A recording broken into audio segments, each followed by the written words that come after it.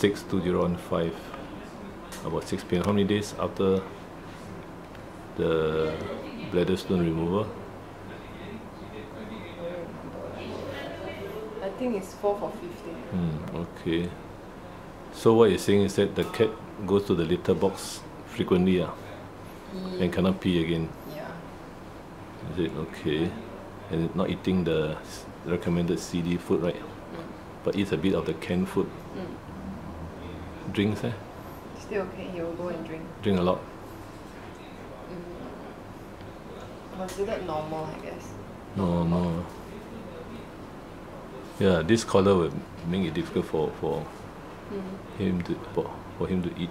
But you can wait till the collar and, and just supervise him eating. Or then the food you should uh, add uh, 90% of the old one plus 10% of the new one. But let's say give 10 pieces, so 8 pieces with the old Mm. old dry food and 2 pieces the, the uh, and then he will he will pick and choose I guess. But uh, how about the stools? Mm, not yet, eh, for now. No stools, huh? So this is a cat with bladder obstruction. But any blood in the urine? This Oh, morning, leaking. a little bit brownish. eh. Mm. So does he move at all? Or he doesn't? Seldom. Move. mostly stay in the little tray.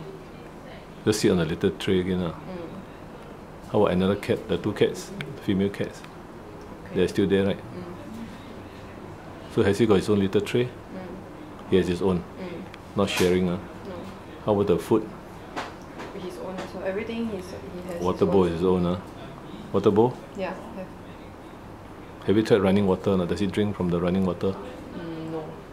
Hmm? Never tried before at all. But I use, the I always put on a bowl and give him. Mm.